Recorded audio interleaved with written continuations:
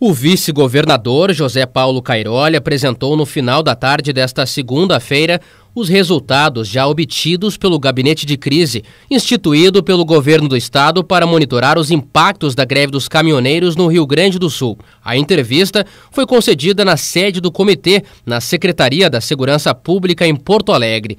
Desde domingo, foram feitas 181 escoltas de caminhões pela Brigada Militar para levar combustíveis, ração animal, gás para presídios e alimentos perecíveis à população.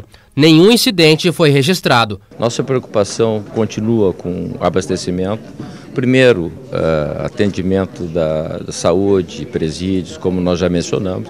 E agora a preocupação de colocar combustível na rede de postos, primeiramente na Porto Alegre, Grande Porto Alegre, e depois ir atendendo aos poucos os demais postos.